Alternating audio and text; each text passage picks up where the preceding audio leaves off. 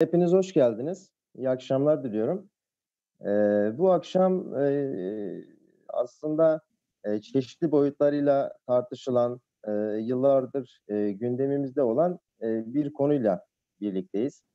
E, bu çevrim içi seminerimizde Kanal İstanbul'un söz edilmeyen mühendislik boyutları kazıya başlanmadan ve kazı sırasında yapılması zorunlu işler başlığın, başlığı altında e, çevrim içi e, seminerini e, Sayın Yüksek İnşaat Mühendisi Mehmet Necat Özgür e, bizlere e, aktaracak, paylaşımda bulunacak.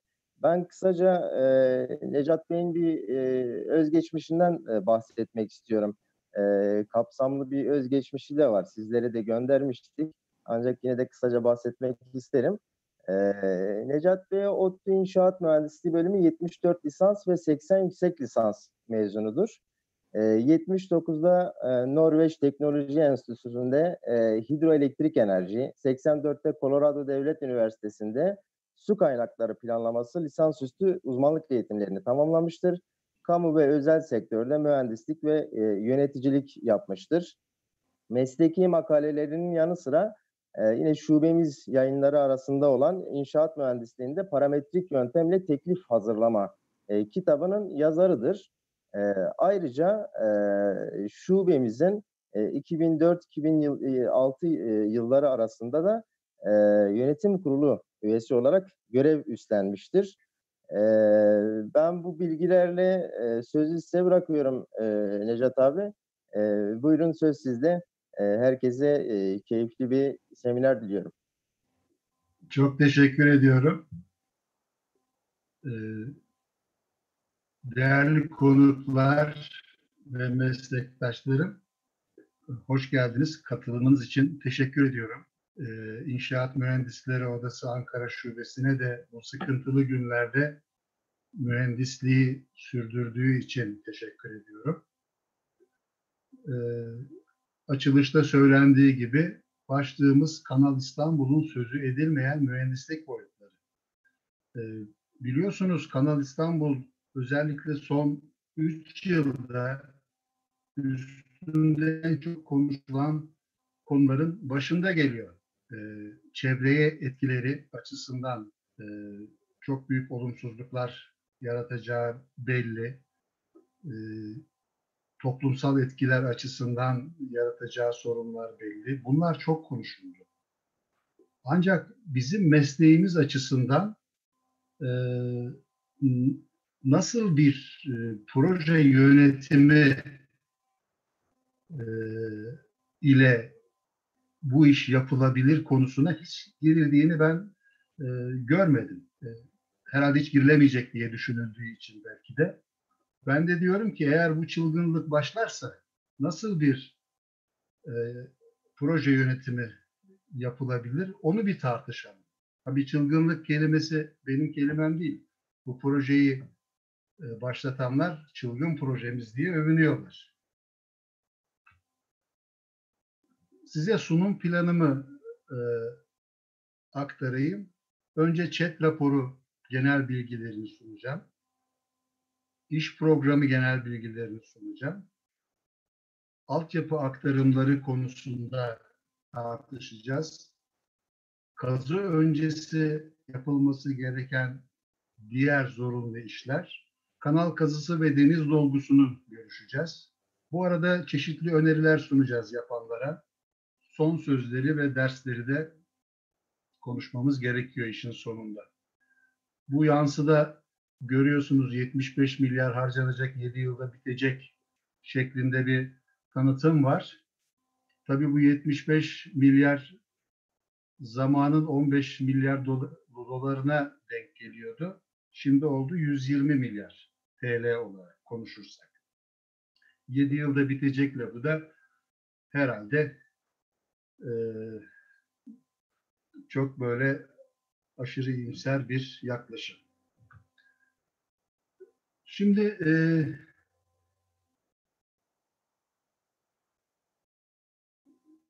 Temmuz 2017'de bu projenin ÇED raporunun ihalesi sonuçlandı. Yüksel Proje adlı şirketin aldığını duyduk. Ocak 2020'de de bu yılın ocağında da e, ÇED raporu hazırlandı, onaya sunuldu, onaylandı. Fakat ÇED raporunu yapan bu sefer başka bir firma. Çınar Mühendislik. Bu konu açıklanmadı. Bu şekilde geçti. Ona bir değineyim dedim. En başta söylediğim gibi bu projenin çevresel etkileri konuşuluyordu. Denizel yaşamın sona erdireceği e, bilim adamları tarafından ortaya konmuştu. Siyasal etkileri konuşuldu. 1936 Montre Sözleşmesi'nin bu projeyle derinebileceği konuşuldu. Toplumsal etkileri konuşuldu. E, Trakya'daki iş alanlarını yok edeceği, büyük bir kitlenin işsiz kalacağı konuşuldu. En, en sonunda da ekonomik açıdan e, tartışıldı. Yararı nedir, gidere nedir? E, yani sonuçta yarar gider oranı e, pozitif midir? Ve şu soru soruldu. Gemiler niye geçecek burada? Hala o sorunun cevabı yok. Bu tür etkiler gündemde ön plandayken henüz pek söz edilmeyen mühendislik boyutlarını işin başlaması durumunda karşımıza çıkacak gerçekçi yapım aşamalarında mercek altına alıyoruz. Bu yönüyle bile proje çözümüne hiç kafa yorulmamış sorunlar içermektedir. Projenin unsurlarını görüyoruz bu yansıda. Kanal var tabii bildiğiniz gibi 45 kilometre yaklaşık. Tabanda minimum genişliği 275 metre, derinlik 21 metreye yakın. Onun yanında Karadeniz Konteyner Limanı var. Marmara Konteyner Limanı var. Yansıda görüyorsunuz bunları. Lojistik merkezi var Karadeniz Limanı'nın yanında. Küçükçekmece Yat Limanı var. Ee, bir de rekreasyon amaçlı dolgu diye bir şey var. Onu şöyle işaret ediyorum size. Kazıdan çıkan malzemeyi buraya yığacaklar. Rekreasyon amaçlı bir dolgu üstünde çeşitli herhalde işte piknik alanları falan düşünüyorlar. Ancak burada dikkati çeken bir şey var.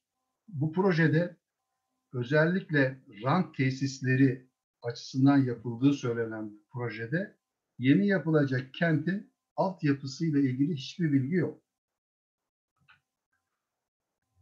Şimdi inşaat mühendisliği açısından baktığımızda e, iş akış şemasını ÇED raporundan görüyoruz.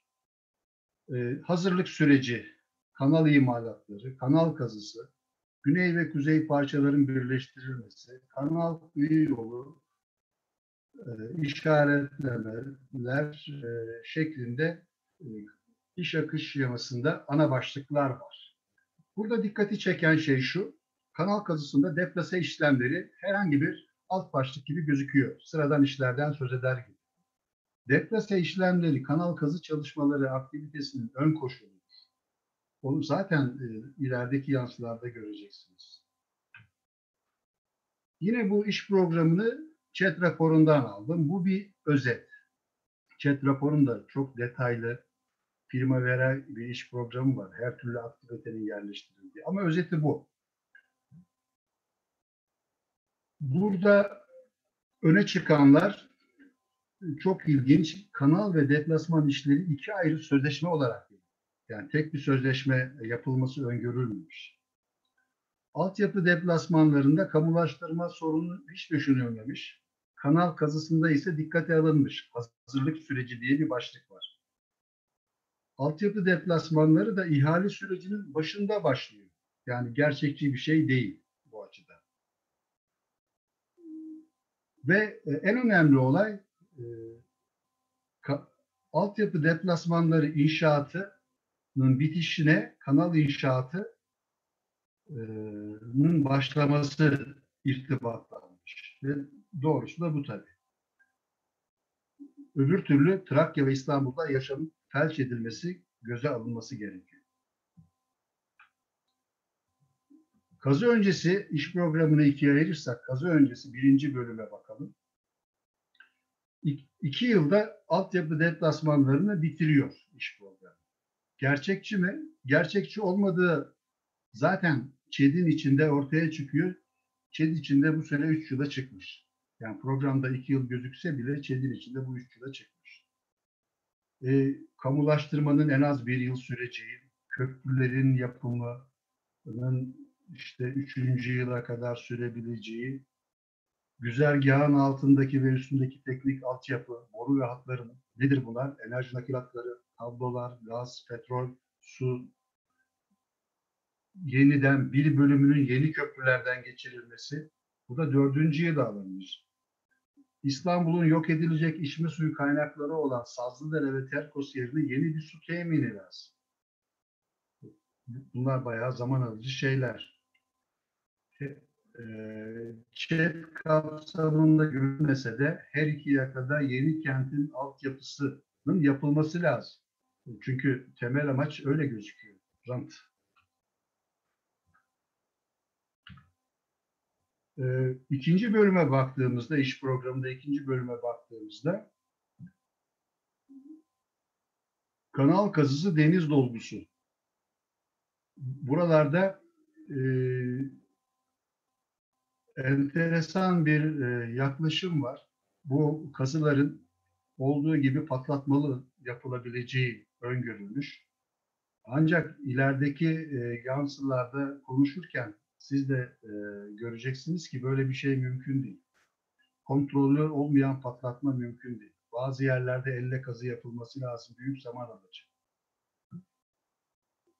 Ve burada deniz dolgusu hiç olacak bir şey değil. Öyle gözükecek. E, onu tartışabiliriz. E, büyük olasılıkla e, ille de bu projeyi yapacaklarsa kazıyı iki yana taşıyarak kod yükseltmesi şaşırtmamalı süreyi kısaltmak açısından. Daha sonra kanalın suyla dolması, son atımlar, yeni liman ve yönetim tesisinin yapımı bayağı zaman alıcı işler. Bunlar bizim öngörümüz. Yapılacaksa eğer bu 15 yılı var diye düşünüyoruz. Yeni kentin kanal manzaralı dolgu üstü binalarının uzun kazık temeller üstünde yapımı da ondan sonra başlayabilir. Bu iş devam ederken e, yapılması mümkün gözükmüyor. Altyapı aktarımlarına geçersek, kanal güzergahını boşaltma işleri geçici derivasyonlarla yapılacak gibi değil. Neden değil? Çünkü hayat devam edecek. Burada 20 milyon nüfus var. İstanbul dahil, Trakya 20 milyon nüfus. Bu nüfusun bütün aktiviteleri sürecekse eğer önceden önceden çeşitli aktarım işlerinin yapılması gerekiyor. Bu arada unutmadan söyleyelim, bu kapsamda 2 adet rüzgar enerji santralı, 3 adet güneş enerji santralı ve maden ocakları yok edilecek. Şimdi bir kaos görünüyor. Kaza aktarım, altyapı aktarımları işinde. DSİ, EİH, BOTAŞ, Demiryolları, Karayolları, Orman Genel Müdürlüğü, Büyükşehir, Milli Savunma Bakanlığı gibi kurumların yeni ihaleler yapması gerekecek. Aktarımlar onların ülkesinde gibi gözüküyor. Bu yansıda çeşitli e, renklerde şeyler görüyorsunuz, hatlar görüyorsunuz. Onların lejantı da solda gözüküyor. E, tek tek hepsine bakacağız zaten. Şimdi altyapı aktarımda raylı sistemlere geçelim. Raylı sistemlerde e, demir yolu güzergahı iki adet güzergahın değişmesi gerekiyor. Metro güzergahı iki adet e, metro güzergahının değişmesi gerekiyor. Bunların kamulaştırma işlemleri olacak. E, şimdi yerel ve uluslararası ulaşım kesilmesin. Kanal kazısına başladıktan sonraya bırakılacak işler değil ve bunlar ciddi köprüler olmak zorunda. Su yüzeyinden en az 64 metre olacak şekilde demiryolu köprüleri de eğim koşulu gereği olarak her iki yanda yeterince uzaktan başlatılmalı. Eğer demiryollarını ve tünelle geçirmeyi düşünülürse derinliğin de hesabı gerekir. Kanal kazısının patlatmaları tünelleri riske sokabilir. Çette tünel işleri, e, tünelle geçme alternatifi vardı. Ancak onları sonradan kaldırdıklarını duydum. Karayollarına bakalım. Altyapı aktarımlarında. 7 karayolu köprüsünün yapılması gerekiyor. Şu an mevcut güzergahı yansıda görüyorsunuz. Kanalın kestiği E E5, E80, D20, O6 yolları var. Kanal üstünde yerel yolları var. Ee, Bunlar da e, eğim koşulu gereği her iki yandan yeterince uzaktan başlamak zorunda. 64 metre yüksekliği de tutturmak zorunda. Altlarından uluslararası trafik geçecekse eğer. Şimdi bence bu sunumun en önemli yansısı karşımızda şimdi. Burada biraz fazla durabiliriz. Bir aktarım örneğidir bu. D20 geçişi. 450 metre açıklıklı köprü. Kablo askılı köprü. Burada mesela süreyi 3 yıl olarak vermiş e, bunun yapımını chat'te. İş programında e, bu köprüler 2 yıl gözüküyor. Yani iş programı çelişkisidir bu. Bunun formasyonu İhsaniye formasyonu diye geçiyor. Zayıf kaya, kirli kireç taşı tanımında. Ee, Şimdi dikkat ederseniz burada yapılacak iş köprümüz şu. Tabii zemin bu. Yani önce tabii zemini bir, bir- güzel kazıyoruz. Tabii zemini köprü yapmak için. Daha sonra köprünün altını bir güzel kazıyoruz. Kanal yapmak için. Hiçbir yaklaşım. E Çünkü topografi her yerde istediğiniz gibi çıkmıyor karşınızda. İşte böyle topografyalarda çıkıyor. Şimdi kan- e, bunu böyle yaptığımızı düşünelim. Köprü ayaklarına bakalım. Zayıf zemin olduğu için keson temel var iki yanda.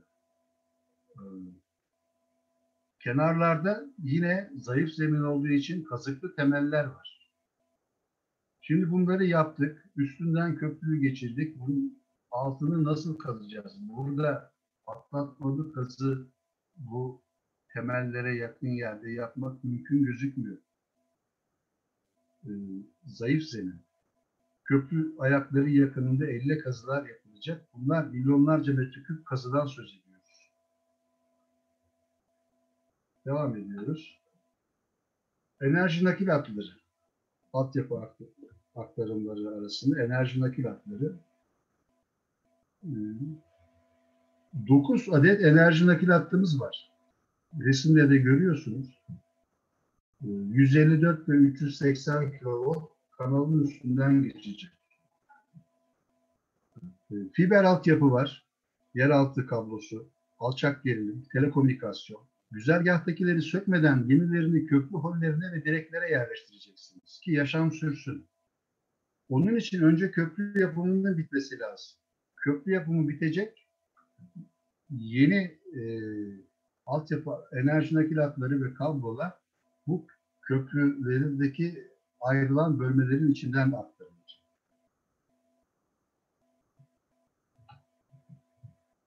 Boru hatlarına bakalım. Küçükçekmece Gölü girişinde ana doğalgaz hattı var. Ee, şurada gözüküyor. Rusya'dan gelen Türk akımı bu hatla Anadolu'ya gaz gönderiyor. ÇED bu hattın 5 kilometre güneyden geçtiğini yazıyor. Üstünde sadece betonarme kemer yapılacağını belirtiyor. Ancak 16,5 milyon metreküp belirlenmiş bir tarama gereksinimi var. Ee, o nedenle kuşku yaratıyor bunun yeterli bir tedbiri olduğu konusunda. NATO akaryakıt boru hattı var. Tem üstünde. Ee, kanal projesiyle e, kesişiyor. Bu herhangi bir köprüye monte de edilemez. Güvenlik nedeniyle. Bunun nasıl yapılacağı chatte belli değil. İGDAŞ'ın doğalgaz hatları var. Kanalın altından yönlendirmeli yatay sondajla geçecek. Ee, alttaki e, şekilde de nasıl geçileceği gözüküyor. Ee,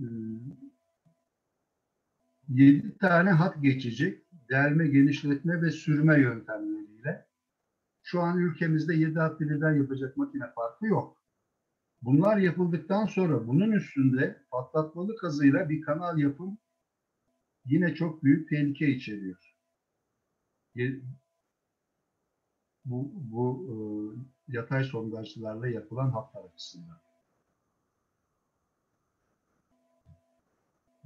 Su işlerine bakalım. Altyapı aktarımları içinde. Evet, kamulaştırma çözüldü, köprüler yapıldı, enerji nakilatları, doğalgaz altyapı aktarımları bitti. 5 yıl geçti, 8 milyar dolar harcandı diyoruz. Kanala başlayabilecek misiniz? Hayır, sırada İstanbul'un suyu var. Şimdi İstanbul'un suyu ıstırancalardan gelen su var. Terkos'ta depolanıyor. Terkos, Silivri ve e, Sazlıdere ve Büyükçekmece barajlarından gelen sular artık İstanbul'a erişemiyor. Bütün burası e, iptal oluyor. E, üstünden kanal geçiyor çünkü. Kanalın tuzlu suyu tüm akiferleri basacak. Mevcut tesislerde arıtamaz. Tüm ishale hatları ve su arıtmaları çöpe gider. Peki İstanbul'a su nereden gelecek? Devam ediyoruz su aktarımlarına. Düzce'de Melen Barajı'ndan gelecek. Melen Barajı'ndan hayır yok çünkü çatlaklar içinde. Su tutmuyor. Onarım ihalesinin e, yakın zamanda yapıldığı belirtiliyor. E, Zamanında bitebilir mi? Su tutması mümkün olabilir mi? Onu şu an bilemiyoruz. Ancak deniz suyu arıtma tekniğiyle yapabilirsiniz diyoruz. Başka kaynak görünmüyor ufukta diyoruz.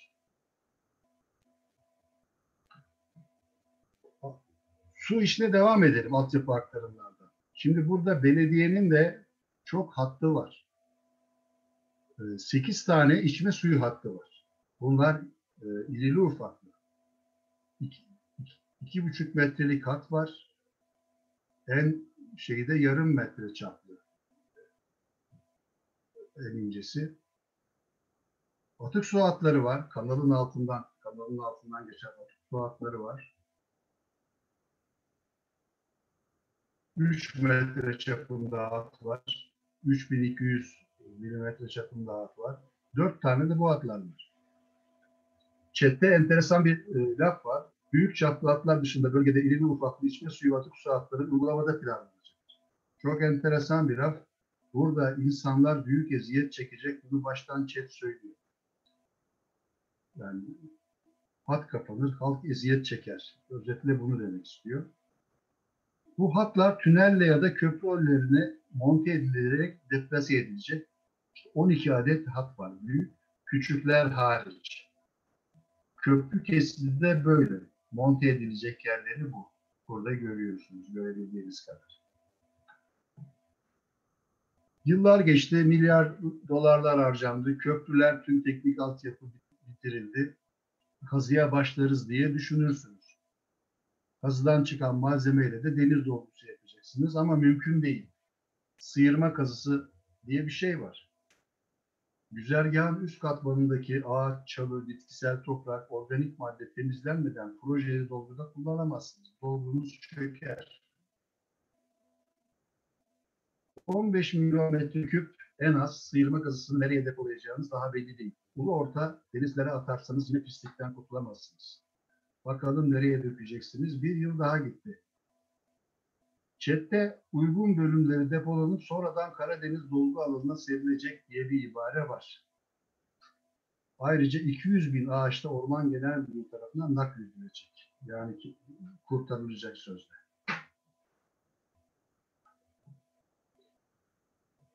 Evet. E,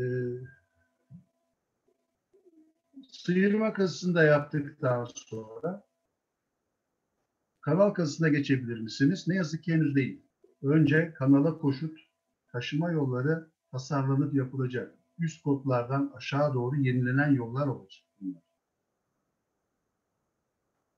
Ve e, kanal platformu düzeyine gelince ana taşıma yolları sabitlenecek. Denizleri doldurmak için her yönde son gidip gelen binlerce dev kamyon. Her şan Burada tabii çeşitli şantiyeler olacak. Her şantiyenin ortak bulvara çıkışında e, kavşaklar yapılacak. Yol standartının çok yüksek olması gerekiyor. 6 metre çaplı 3 şeritli gidiş geliş ve geçiş yolu olması lazım ama chat çözümü farklı. Ona da bakacağız. Bu taşıma yolları ileride kanalın yan yolları olacak. Bakım yolu. En alt kottaki.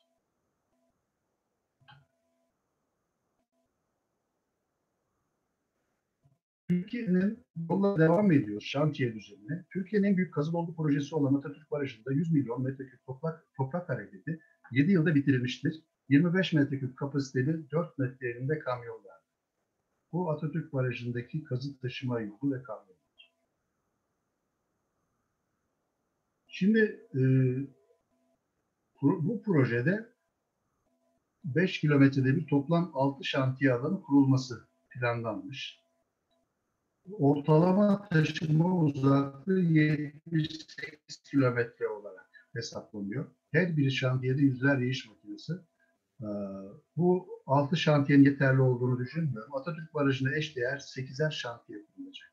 Birbirinden bağımsız yönetilecek. En kritik aktivite de sıkıştırma.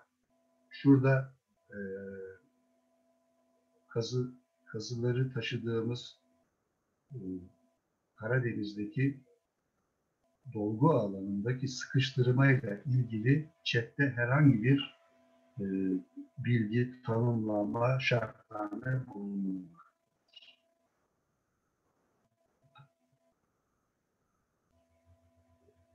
Evet, e, bir diğer önemli iş Küçükçekmece ve Marmara'da e, deniz dibi taramaları var. Bunlar 21 metre derinliği sağlamak için gerekiyor gemilerin geçebilmesi için. Küçükçekmece Gölü'nde, şu gölde 53 milyon metreküp hesaplanmış. Marmara'da e, kanalın girişinde 16,5 milyon metreküp hesaplanmış. Şimdi bu taramadan çıkacak bu kadar malzemenin ne yapılacağı belli değil. Dip taramasının döküm alanı bilinmiyor. Yol açacağı çevre sorunu önemsenmemiş. Geotüp içinde bekletme diye bir kavram var çiftte. Geotüp de şöyle bir şey. Bu taramadan çıkan malzemeler bu geotüplerde toplamı da bunların işte 70 milyon metreküpe yakın. Nerede bunlar bekletilebilir bu belli değil. Ayrıca bu taramalarda bir risk var. Şurada çok e, nefis bir Mimar Sinan Köprüsü var. Hemen e, gölün, e, gölden çıkan bir derenin başında Mimar Sinan Köprüsü şu küçük resimde de görülüyor. Bu taramalardan Mimar Sinan Köprüsü'nün nasıl etkileneceği hesaplanmış. Rüzgargah boyunca iki adet eski köprünün yenilenmesi pandemi sürecinde apar topar ihale edildiğini duymuşsunuzdur. Yani bu güzergahı, o iki köprüyü kurtaracak şekilde bile tasarlamayı düşünmemiştir.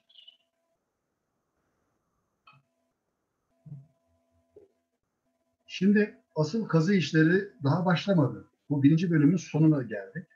Ee, biraz tekrar edelim. Ee, neler yaptık? Kamulaştırma sorunu vardı. Bölgede yaşamın kanal kazısı sırasında felce uğramaması için köprüler, altyapı ve boru hatları aktarımları vardı. Saydınız mı diye soruyorum. Kaç tane aktarma var? Sayalım hep beraber. 4 aylı, 7 karayolu, 9 enerji nakil hattı, 7 doğalgaz, 1 akaryakıt, 12 su, 40 geçiş, 40 aktarma. Şu an bunlar mevcut. Bunlar çalışırken 40 tane aktarma yapılacak. Küçük çaplı iski hatları, fiber altyapı, yeraltı kablosu, alçak gerilim, telekomünikasyon dışında. Ve bunlar 30 kilometrelik bir boy içinde. Sazlıdere ve Çekmece gölleri 45 kilometreden düşünce 30 kilometre içinde bu kadar fonksiyon yapılacak. Yani 80'in üstünde işler görülürken güzergahta mevcut aktarım artı mevcut işlem artı aktarım 80'in üstünde görülürken ÇED uygun yerlerde kanal kazısını da yaptırıyor süreden kazanmak için. Bu olanaksız. 325 metrede bir ya deplasman şantiyesi var ya da mevcut altyapı değil. Şantiyede kalır. Evet, bütün bunlara ek olarak dik taramaları var, sıyırma kazıları, kazı taşıma yolları var. Bu e, taramaların ve sıyırmanın nereye döküleceği belli değil. Bağ kanal kazısı başlamadan en iyi olasılıkla 6-7 yıl geçecek. Evet, asıl kazı aşamasına gelelim. Kanal kazısının ve deniz dolgusunun yaratacağı sorunlar. Şimdi kanalı kazıp işte burada dolguya gidiyoruz. Bu liman ve lojistik merkezi, limanlar ve lojistik merkezinde bu kazıdan çıkan malzemeler kullanılıyor. Onu size hatırlatayım. Bu önemli bir yapı. Kanaldan e, 1 milyar 115 milyon metreküp hesaplamışlar ama bu hesap çok az, yetersiz. Metreküp kazı burada serilecek. Ve nasıl sıkıştırılacağı ile ilgili hiçbir bilgi yok. Silindirle mi sıkıştırılacak, vibro sıkıştırma mı yapılacak? İşte şartnamesi olmayan dolgudan manzaraları da görüyorsunuz.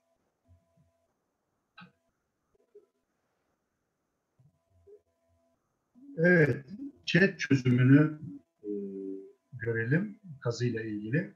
Açık maden ocaklarında çalışan devasa kazıcı ve kamyonların kullanımı. Bu ÇED'in bir ifadesi. Günde 850 bin metreküp kazı ve deniz depolaması. 3 çarpı 8 saat vardiya.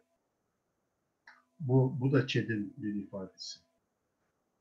Kepçe hacmi 50 metreküp 17 adet.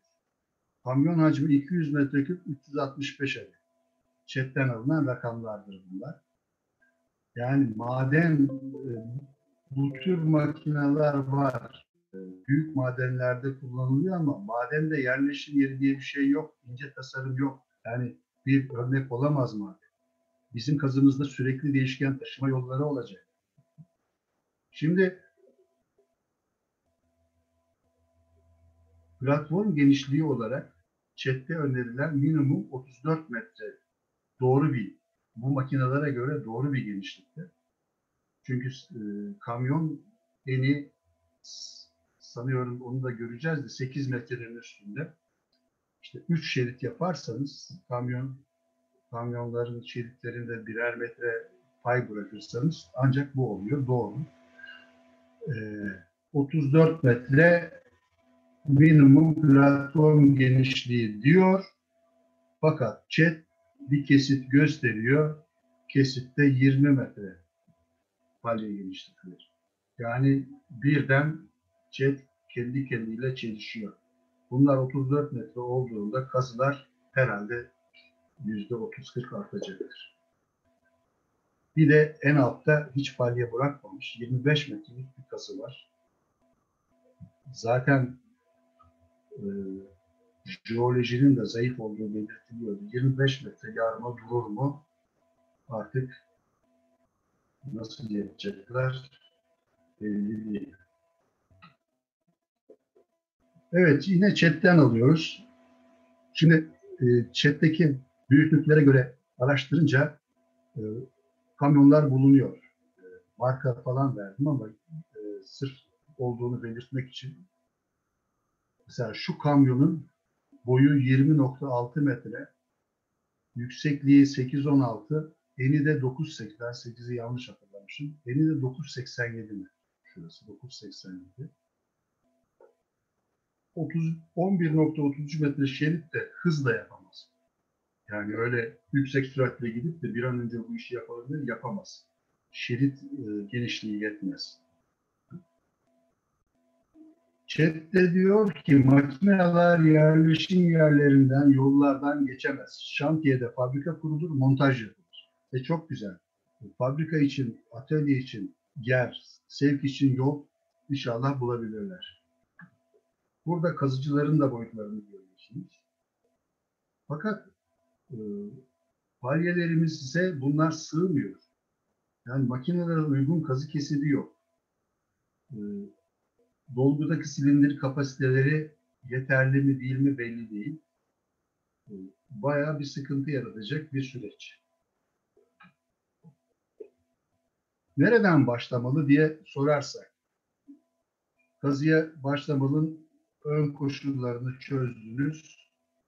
Ee, 1 milyon 155 1 milyar 155 milyon metreküp kanal gazını nereden başlayacaksınız? Çet kuzeyden başlamayı öneriyor. Kuzey taraftan başlamayı öneriyor. Burası ye- yeni havaalanı. Şuradan başlayacak çete göre. Fakat güzergahtaki su kaynaklarını çevirmeden, kurutmadan nasıl yapacaksınız? Hiçbir öneri yok. Tam ortada Sazlıdere Baraj Gölü var. Küçükçekmece metro hattı çok yakın.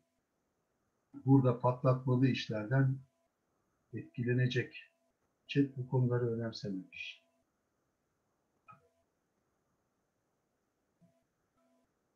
Başlayacaksanız o zaman kurutmayla Sazlıdere Barajı'nı yıkarak başlayın. Tarihimizde ilk kez bir iktidar hizmet veren bir barajı yıkmış olacak. 2 milyon metreküp baraj dolgusu ile rezervuarda birikmiş o kadar alüvyon nereye dökülecek? Yamaçlarda yeni taşıma yolları yapacak. Önce 100 milyon metreküp suyu dip savaktan, dip savaktan küçük çekmece gölüne akıtacaksınız. Minimum düzeyin altında kalanında pompaj oluyor.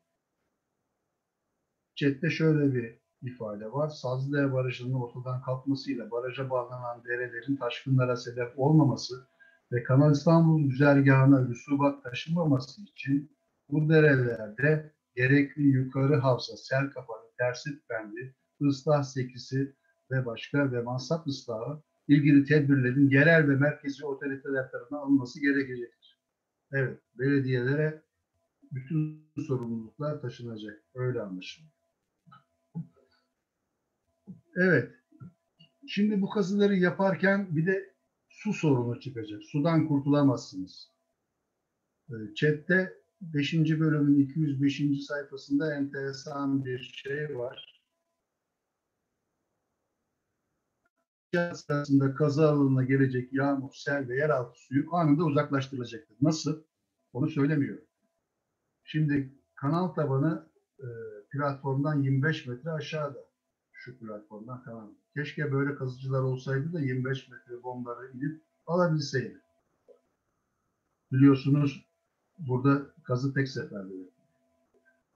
Kamulaştırma sonrasında tarım, sulama yapılmayacağı için yıllar içinde yükselecek yeraltı suyunu da hesaba katmaları lazım. Katmamışlar. Makinelerin çalışabilmesi için su boşaltma işlemi ağırlık kazanacak. Suyun gönderileceği daha düşük kodda bir vadi yok en çukur yer yine kazı alanı. Fizik kuralı, çukurdan pompalarla atılan su zeminden sızarak geri gelecek. Kazıda sudan kurtuluş yok. 25 metre derinlikte drenaj mümkün değildir. Bakın, e, böyle bir zeminimiz var. Yüzey suyu ve siz siz burada kazı yapacaksınız yeraltı suyun içinde. Biz de yükleniciye çeşitli çözüm önerileri sunabiliriz. sızdırmazlık perdesi yapabilir. Bulama çembeytörü. Buna çimento üreticileri çok sevdi ama yeterince bentonit var mı bilinmiyor. Çeşitli yerlerinde benzer önlemler düşünmüş, düşünülmüş chatte ama akiferi koruma amaçlı. Yeterli olacak mı bilmiyoruz. Evet. Şimdi bu kazıdan çıkan malzemeleri inceleyelim. 38 kilometre. Şu, şurası 38 kilometre. 38 kilometre bir dolmuş yapılması gerekecek. Kazıyı suyla boğuşarak hiç hesaba alınmamış enerji gideriyle yapmaya çalışacaklar. Karadeniz ve Marmara limanları ile lojistik merkezine e, taş ocaklarından ayrıca dolgu taşınacak. Hangi yollardan belli değil. Binlerce kamyon yıllarca sefer yapacak Böyle bir aşamada toz toprak görüldüğü için de RAM tesislerine herhalde başlanamayacak.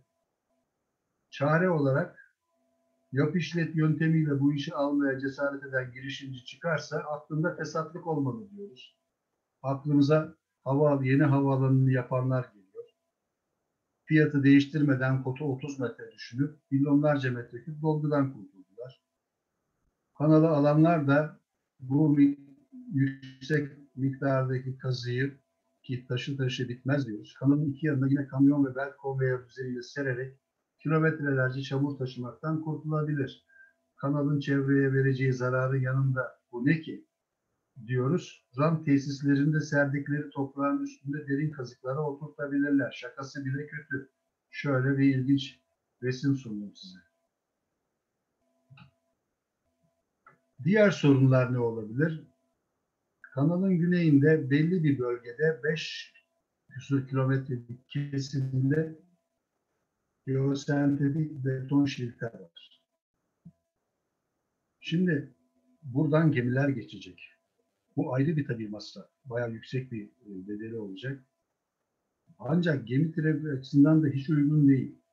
Burada bir demir atma olayı gerekirse niye gerekmesin? Gerekebilir. Kaplama kırılabilir, demir tutmayabilir. Bu e, chatte bu tür konular unutulmuş. Diğer sorunlara devam ediyoruz. Taşınmaz rantı. O da çelişkiler içermekte. Bu ağır ve uzun yapım süreci içinde kim orada konut dikip oturabilecek? Her gün binlerce kamyonun tozunu ve gürültüsünü çekecek. Kanal zemini patlatılırken binalar sağlam kalabilecek mi?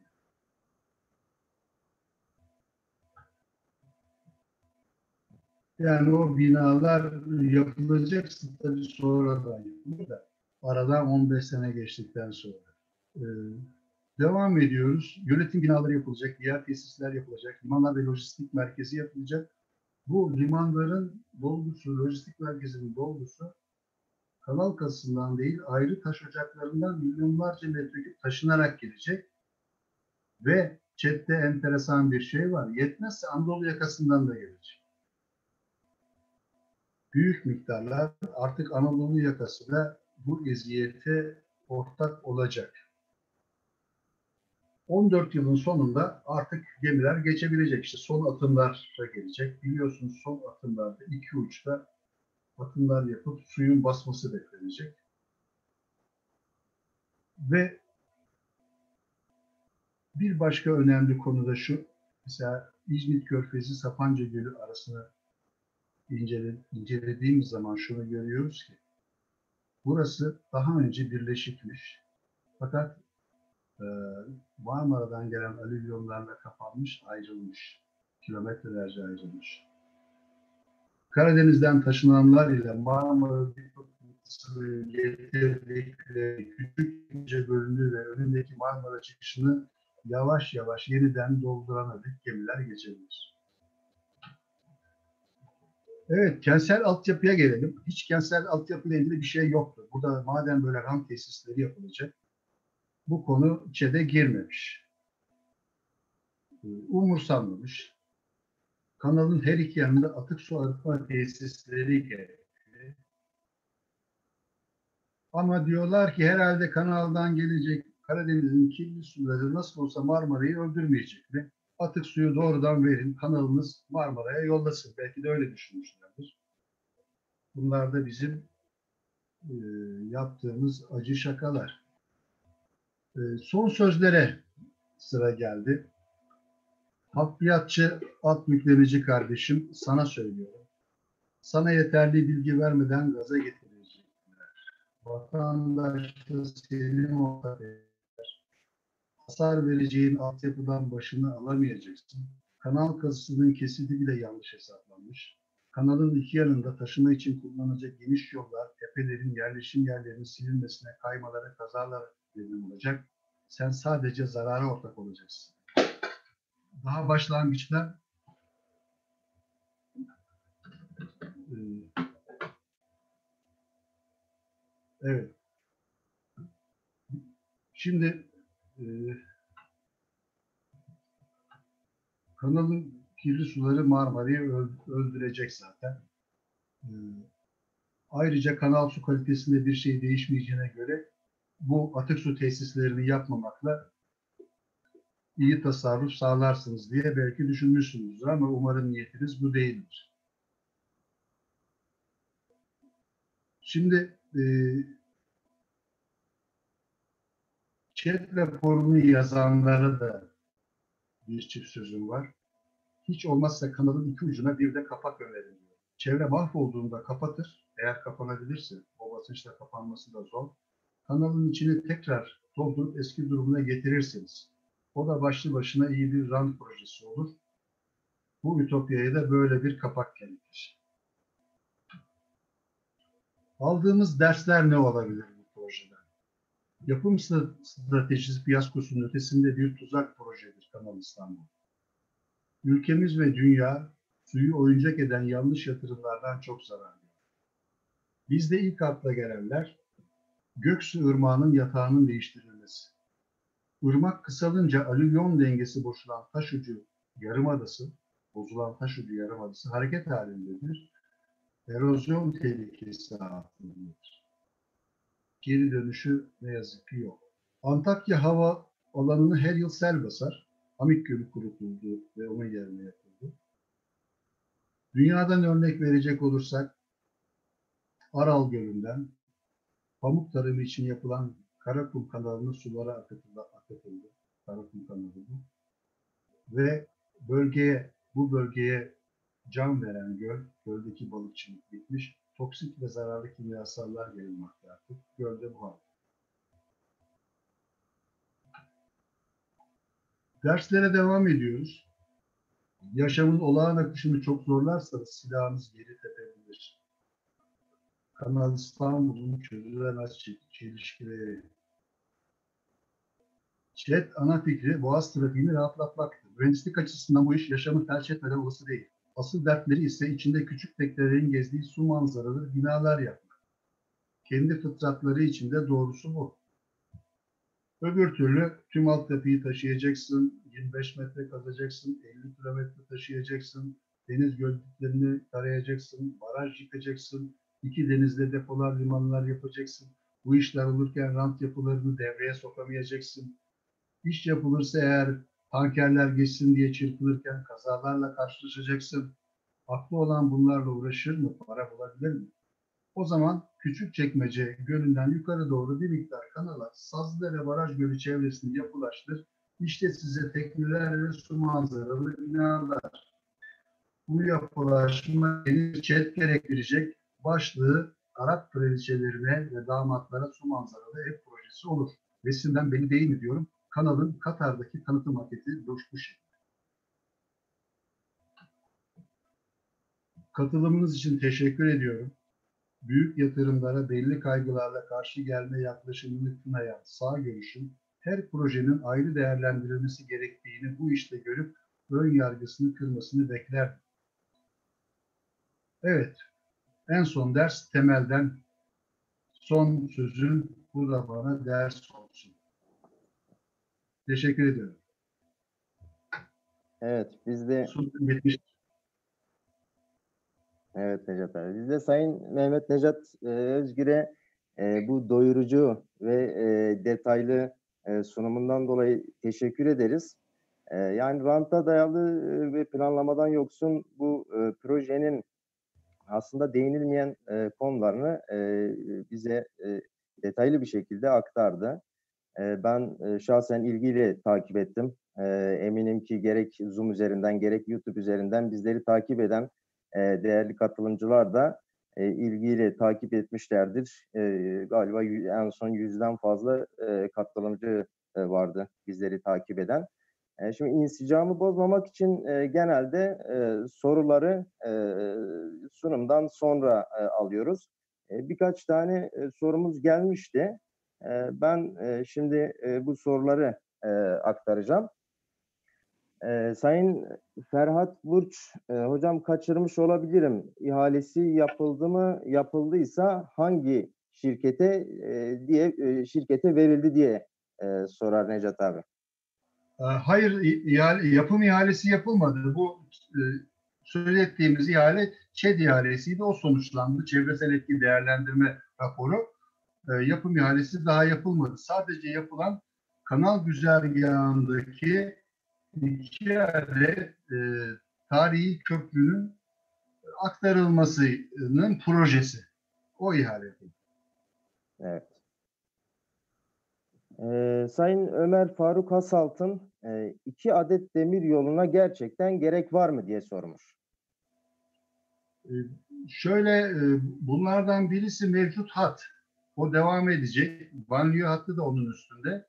Diğeri e, üçüncü köprüden gelen bir yeni bir hat var e, demir yolunun. Devlet demir yollarının. O ayrıca e, yapılacak. O şu an yap- e, yapım aşamasında. E, mevcut değil. O e, ayrıca kanal yapılmadan köprüsünün yapılması gerekiyor. O hızlı tren için yapılan bir şey.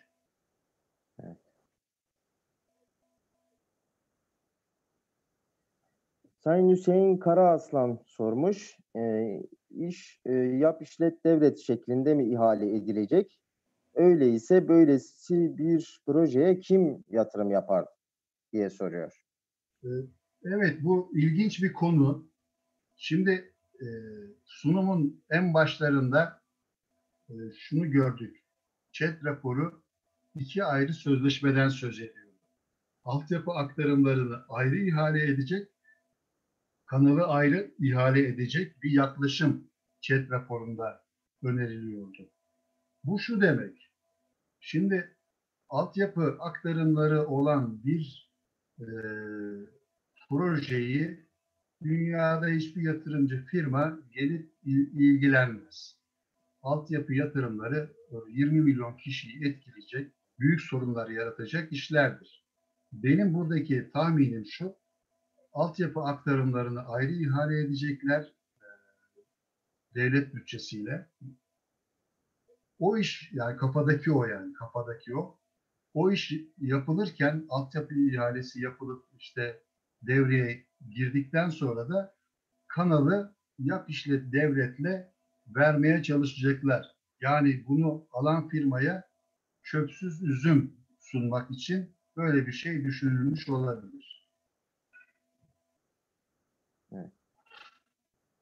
Sayın Onur Gezer sormuş. Boğaz'da iki yönlü bir akım var. Kanal İstanbul bu akımı nasıl etkileyecek? Ayrıca Terkos Gölü'ndeki tatlı su ile kanaldaki tuzlu suyun osmoz sebebiyle birbirine karışmaması için ne yapılması gerekiyor?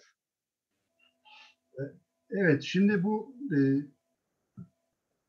çevresel konularda ben herhangi bir yorum yapmayayım izin verirseniz. E, ben hani e, bir inşaat projesi olarak e, bu konuyu nasıl irdeleyebiliriz onun sunumunu yaptım. Ama sorunun ikinci kısmında e, sonlara doğru bir yansıda da gösterdim. Belli kilometrelerde e, o e, önerilen e, perde imalatları var. E, Kanalın her iki yanında kanal sularının rezervuarlara karışmasını önlemek için sanırım 5200 metre boyunca her iki yanda e, bir e, perde projesi var.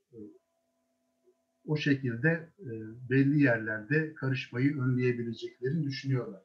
Ama boydan baya olmazsa başarılı olur mu olmaz mı onu da incelemek gerekir. Evet. Yine Atatürk ismiyle aslında aynı minvalde bir e, soru var. E, Necat Bey de az önce konuyu e, açıkladı. Yine iki farklı denizin birbiriyle karışmasıyla ilgili. YouTube'dan e, gelen bir e, sorumuz var. Sayın Utku Turgu- Durgut, e, yapım işinin yarıda terk edilme ihtimali nedir diye sormuş. Ee, önce önce önce başlama ihtimalini Evet. düşünelim. Tabii. Ben bu projenin ben bu projenin başlayabileceğini de pek düşünmüyorum. Ancak en son bir önceki yansıda e, tekrar gelelim ona. e, Şu şekle dönüştürülebilir. Yani belli bir yerde işte sulak alanı biraz genişleterek etrafına binalar yaparak işte Katar'da tanıtım yaptıkları gibi, tanıtım maketindeki gibi böyle e, değişik bir projeye dönüşebilir bu. Öbür türlü e, hiç mantıklı gelmiyor ve e, sanıyorum kendileri de bu projenin sahipleri de böyle bir şekle dönüşmesini yürekten istiyorlar. Yine YouTube üzerinden Arslan ismiyle bir soru var. Başka bir güzergahtan böyle bir kanal projesi yapılabilir mi? Yoksa İstanbul'da kanal projesi tamamen imkansız mı? Yani e, kanal projesi imkansız demek e, bize düşmez. Yani yapılırsa yapılır.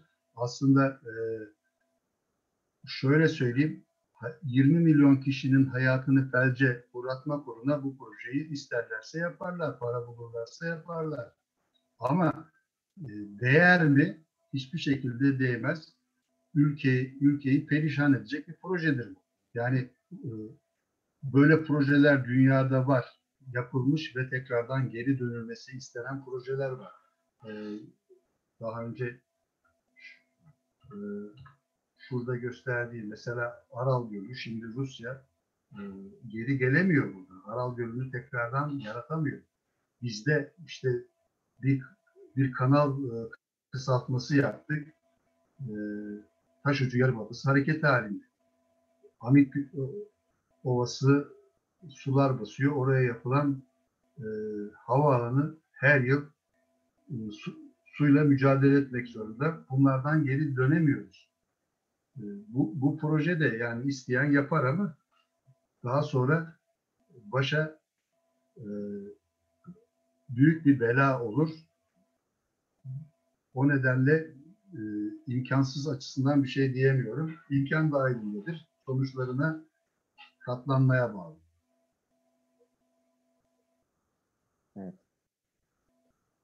Sayın Ferhat Burç sormuş. Hocam gerçekten çok detaylı girdiğiniz e, girdiniz. Teşekkür ediyorum. Öncelikle bu kadar bilgi size nereden geldiğini merak ediyorum. Veya sizin araştırma öngörüleriniz midir? Bu düşünceler sonuçta gizli yürütülmekte birçok rapor vesaire demiş. Ee, şöyle teşekkür ediyorum arkadaşım. Bunlar gizli. Ee, bütün bilgiler chat raporundan alınmıştır. Evet. Ee, şu an gördüğünüz yansının altında da yazıyor. Chat raporu ve Google görselleri içindeki görüntüler kullanılmıştır. O kesitler falan hepsi chat raporundadır. Ee, ve halka açık bilgilerdir bunlar. Ha, biraz zaman harcayıp onları tabii chat raporu çok kalın. Biraz zaman harcayıp işte e, bu şekli bir sunum şekline sunmak istedim. Arkadaşlarımız yararlansın. diye. Abdülkerim Şener, e, akarsu ve göllerin yoğun olduğu bir bölge olduğundan bahsettiniz. Oluşabilecek su kaçakları veya su taşkınları ile ilgili ÇED raporunda bahsedilen önlem projeleri sizce yeterli midir? Ee, Yani chat raporunda yeterli görmüyorum. Ee, Orada enteresan ibareler var. Mesela diyor ki işte Sazlı böyle barajı yıkıldıktan sonra e, oraya gelen su kaynaklarının yaratacağı taşkınları işte yerel yönetimden halledecek. Yani e, projeyi yaptıran değil, projeye itiraz edenler projenin olumsuz sonuçlarıyla mücadele etsin diye chat raporunda enteresan ifadeler var. O nedenle çok yetersiz görüyorum. Hacı Bayram Durmuş sormuş. Nakaş Başakşehir Yiğit yol ihalesi yapıldı. Ağustos 2020 içinde iş Rönesans inşaata verildi. Bu yol paralı bir yol olacak. Kanal İstanbul üzerinde yapılacak yüksek köprülü diğer yolların paralı olup olmayacağına dair bilgi kamuoyu ile paylaşıldı mı? Bu, bu bilgi paylaşılmadı. Henüz e, bilinmiyor bunlar. Ama e, mevcut o üçüncü köprüsünden geçen paralı yolun devamı herhalde o Rönesans'a verilen o paralıdır. Ama diğerleri e, diğerleri şu anki durumu itibariyle paralı değil. Ama yapıldıktan sonra o köprüler, kanalın üstünden geçecek köprüler nasıl olur? E, şu an bilinmiyor, belli değil. Ama işte e, başka türlü de para toplayamadıkları için Belki bütün köprüleri paralı yaparlar. Ben bu konuda herhangi bir yorum yapamıyorum başka. Evet. Tamam, başka soru var mı diye bakıyorum.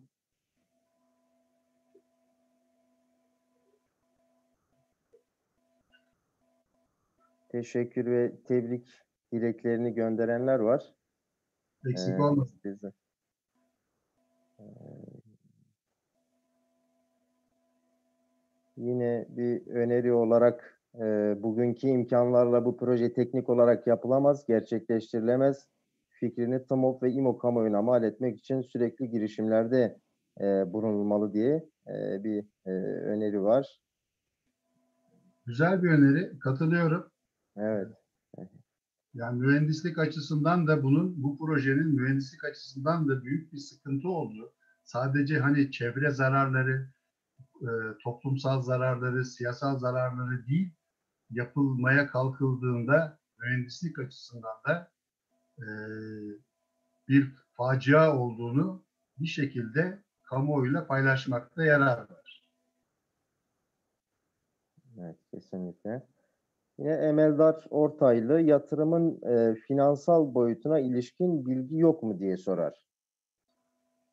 Evet e, değerli arkadaşım şu an bir bilgi yok. Yani e, ne yapılacağı belli değil. En fazla benim diyebileceğim ikiye ayrılmasını öneriyorlar e, sözleşmenin.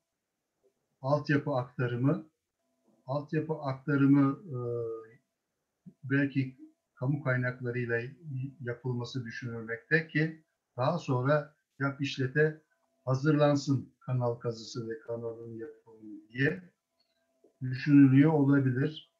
Yoksa projeyi niye ikiye ayırsınlar? Bu soruya ben başka türlü yanıt veremiyorum. Ee, o durumda daha önceden söylediğim gibi altyapı aktarımları bir kamu e, ihalesi olur. Arkasından kanalın yapımı yap işlet devlet için düşünülüyor olabilir. Tabii yap işlet devlet artık modası oldu. Garanti verilerek yapılıyor. Yapanın hiçbir riski olmuyor. Para kazanma e, e, problemi olmuyor. E, işte gemi işte günde bilmem 50 gemi garantisi verirler. İşte 20'si geçer, 30'unun parası da yine bizden çıkar. Böyle bir şey düşünüyor olabilirler. Ama bu düşüncelerin herhalde artık kamuda bir destekçisi kalmayacaktır zaman içinde diye düşünüyorum. Necdet abi konu önemli. Katılımcılarımızla ilgili habire soru geliyor. Bugün e, seni biraz tutacağız. Çok Ee, sevinirim, çok sevinirim. Ben, ben de e, ilgili olunmasından dolayı sevindim.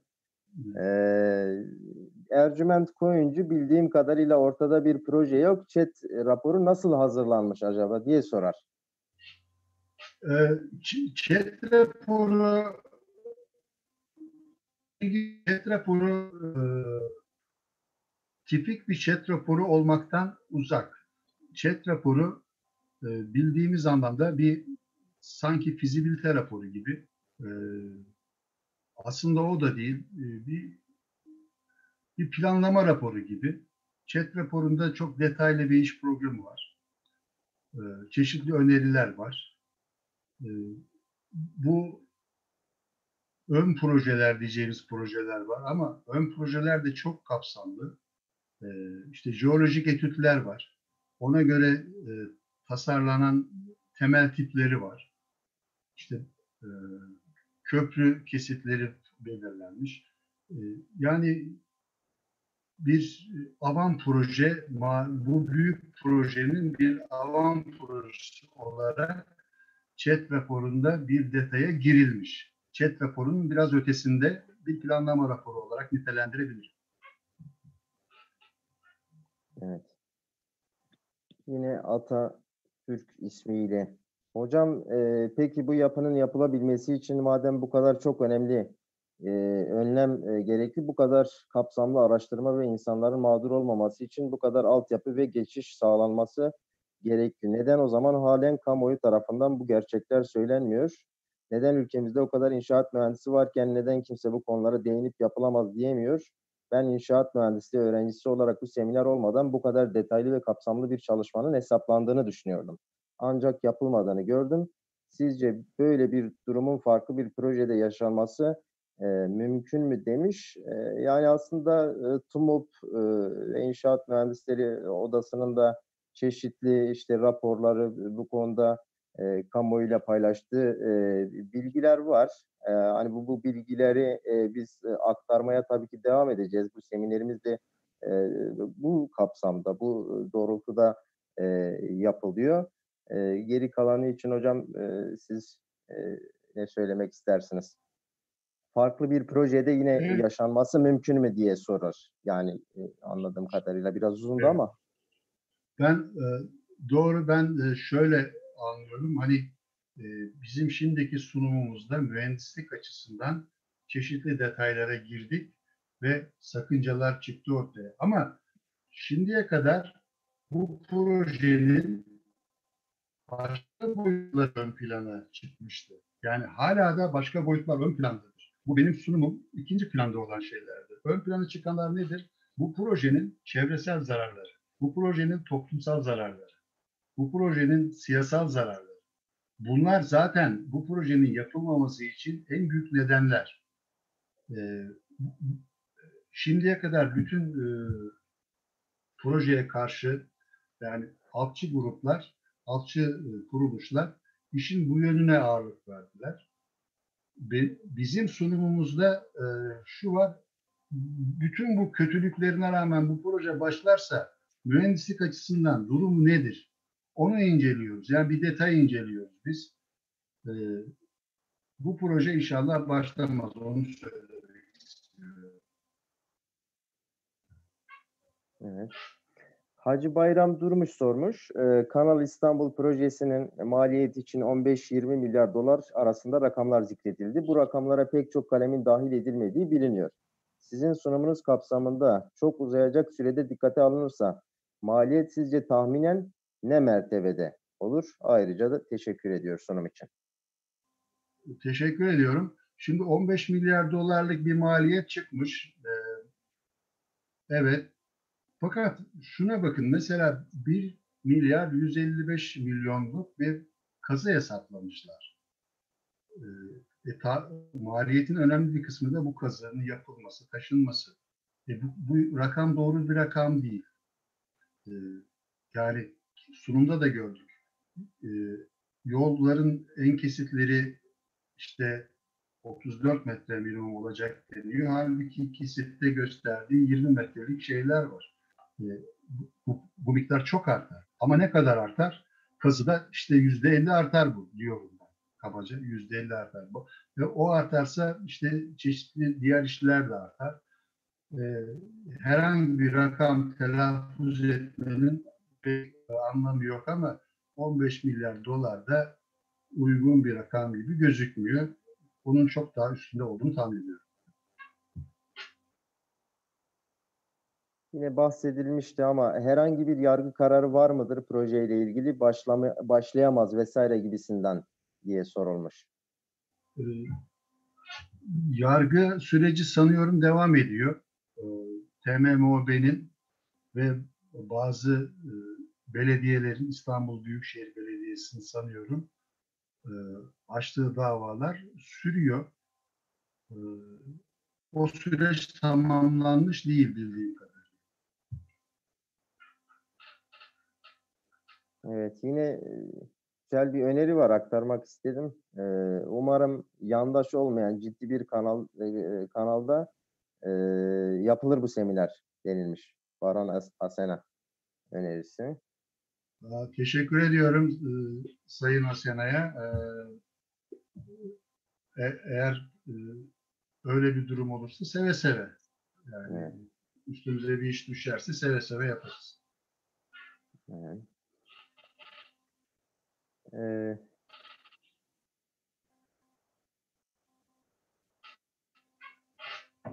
chat raporunu hazırlayan insanlar neye göre neleri dikkate alarak hazırlamışlar bu projeleri diye sormuş. Genel bir soru ama biraz zaten bahsedilmişti hocam. Derseniz e, ş- şöyle chatte, chatte ilginç olan olay şu.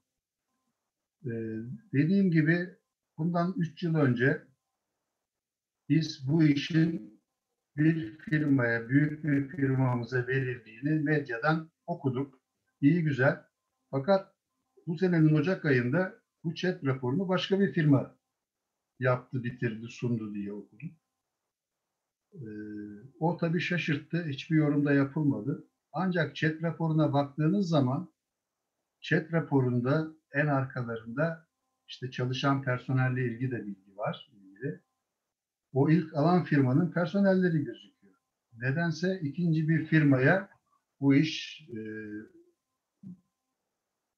e, karşılama aktarıldı bilmiyorum. Onun adı geçti. İlk firmanın adı geçmiyor. Yani arkadaşlarımız, e, tabii onlar bizim meslektaşlarımız, e, üstlerine düşen görevi yapmışlardır. Yani e, biz burada e, raporu eleştirirken, raporun içeriğini eleştirirken onların mühendislik e, değerlerine hiçbir şekilde e, sözümüz olamaz. Ama gördüğümüz eksiklikleri de söylemek zorundayız. Çokça te- teşekkür mesajları geliyor. Ee, affetsinler tek tek isimlerini söylemiyorum. Sağ olsunlar. Bizler-. Bizler de teşekkür ederiz. Sağ olun. Yine bir soruda projenin tek yararı sanırım inşaat mühendisi istihdamı sektörün hareketlenmesi olabilir mi diye sorulmuş. Ee, olabilir tabii. Olabilir tabii. Ee, yani ilk mühendisliği açısından böyle bir şey, daha doğrusu tüm mühendislik açısından e, bir e, saha yaratılacağı düşünülebilir takdirde. Ama ama bizim e, ülkemizin ihtiyacı olan çok daha yararlı projelerde aynı istihdamı daha belki de daha fazlasını sağlar sonuç olarak bir mühendis mühendis olarak böyle bir zararlı, halka zarar veren projede çalışmak çok da moral bozucu bir şey olsa gerek. Yine Cengiz Altınkaya sormuş. Akıntı olabiliyor mu? Hangi yönde ve kaç metreküp bölü saniye? Ee, proje müellifleri belli mi? İleride teknik bir tartışma oturumu tanzim edilirse bu projeyi hangi teknik ekip tanıtıp savunacak diye sormuş. Sayın Altınkaya'ya teşekkür ediyorum. Biz e, daha önce de bir soruya cevap verirken söylemiştim. E, işin e, o boyutu yani çevresel, e, fiziksel boyutu e, konusunda ben kendimi e, yeterli görmüyorum. Yani akıntı hesaplarının nasıl değişeceğini falan e, tabii hep okuduk ettik ama onlar benim konum değil. O nedenle bir yanıt veremeyeceğim. Kusura bakmasın.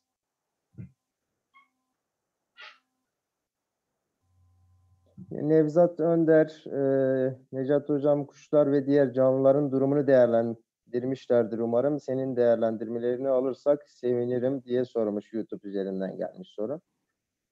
Evet, Ne- Nevzat arkadaşımız tabii işin en önemli yanına değiniyor. O deminki verdiğim cevabı arkadaşıma da vereyim. O boyutlar e, yani canlı yaşamı, biyolojiyle ilgili, çevresel etkiyle ilgili boyutlar benim sunumumun dışında. E, tabii hep okuduk büyük bir zarar vereceğini çevreye, canlı yaşamına. Ama onun detayına girecek e, yetkide görmüyorum kendimi. Sadece inşaat mühendisliği ve proje yönetimi açısından bu konuya girdiğimi tekrar ediyorum. Evet, Sayın e, Onur Gezer sormuş. Sazlıdere Barajı'nda minimum su seviyesinin altındaki su pompalarla kaç metreye basılacak ve kaç milyon metreküp su terfi ettirilecek? Ayrıca barajda Baltik batak zemininde kaç milyon metreküp rusubat temizleneceğini düşünüyorsunuz? Bu malzeme nerede depo edilecek? diye Evet. sormuş. Bu da tabii önemli konulardan biri. Sazlıdere Barajı'nda 100 milyon metreküp minimum su seviyesinin altında su var. Ee, onun tabii pompajla mansaba akıtılması, mansaptan da cazibeyle kö, e, Küçükçekmece Gölü'ne gitmesi e, bu işlemin yapılması lazım. Ee, tabii küçük bir baraj olduğu için pompajla bunu e, halledebilirler. Ee, şeyin e, ya- yapmaya niyetleri oldukları takdirde pompajla deniz seviyesinin altında kalan şey suyu pompalarlar. Orada batak zemin de temizlenecek batan, batak zemin de miktar olarak ne kadar şu an bilmiyorum. Fakat ne Sazlıdere Barajı'nın zemini e, ne de Küçükçekmece Barajı'nda taranacak alan ne de Marmara Denizi'nin Küçükçekmece ile birleştiği yerde taranacak alan hakkında buradan çıkacak malzemenin ne olacağı hakkında bir bilgi yok. E, 50 küsür milyon metreküp Küçükçekmece Barajı'nda var. İşte 16 milyon metreküp Marmara'da var. Sazlıdere Barajı'ndaki miktar bunların yanında e, küçük kalıyor. Bunlar için geotüp de e, muhafaza etme önerisi var. ÇED raporunda geotüp dedikleri işte koca koca tüpler içine bunları bu e, batak malzemeyi koyacaklar, kurutmaya bırakacaklar. Kuruduktan sonra diyorlar ki işte e, Karadeniz'deki dolgunun üstüne serilir. Tabii bu bu kadar basit değil. Bu e, 60-70 milyon metreküp malzeme, batak malzeme geotüplerle nerede kurutulacak? O yer yok. E, O, bunlar temel eksiklikler. Yine bir soruda Birleşik Krallık'taki Falkirk dolabına gibi yer seviyesinden yukarıda bir yapı yapılabilir mi? Bu sayede altyapı çalışması da yapılmayabilir diye bir mesaj gelmiş. E, Bir daha tek söyleyebilir misin? E, Birleşik Çok- Birleşik Krallık'taki Falkirk dolabına gibi yer seviyesinden yukarıda bir yapı yapılabilir mi diye sorulmuş. Yani yer seviyesinden yukarıda yapı derken hani e, e, yukarıda bir kanal gemileri oraya alıp taşımak belki e, belki bu çevre zarar açısından daha e, az kusurlu olabilir ama mühendislik açısından da herhalde e, bayağı zor bir proje olur ve 45 Evet. kilometre boyunca olacak. E, pek herhalde akla yakın gözükmüyor.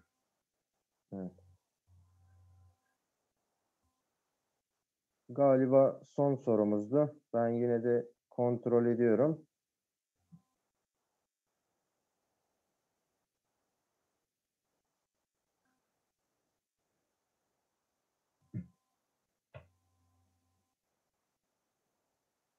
Evet.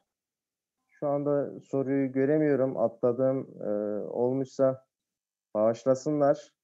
Yani e, çok fazla soru vardı. Çok fazla e, mesaj gelmişti. Çok önemli bir konu zaten. E, ben e, tekrardan teşekkür ediyorum bu kadar e, doyurucu ve detaylı e, bir sunum için Necat abi. E, katılımcılara da e, çok teşekkür ediyorum. E, bu saatte e, bizleri takip ettikleri için. E, buyurun son sözü size bırakayım. Bu şekilde bitirelim isterseniz. Teşekkür ederim. Ee, ilgi gösteren arkadaşlara teşekkür ediyorum. Ee, ben de çok e, sevindim e, bir böyle bir ilgi olmasına. Size ayrıca teşekkür ediyorum. Hani bu saatte böyle geldiniz, zor bir işi yönettiniz. Odadaki arkadaşlara çok selam lütfen. Ee, şu üstüne. şu salgın döneminde mühendisliğe katkılarınızın sürmesinden dolayı ayrıca teşekkür ediyorum. İyi geceler diliyorum. Herkese iyi akşamlar diliyoruz. Sağ olun.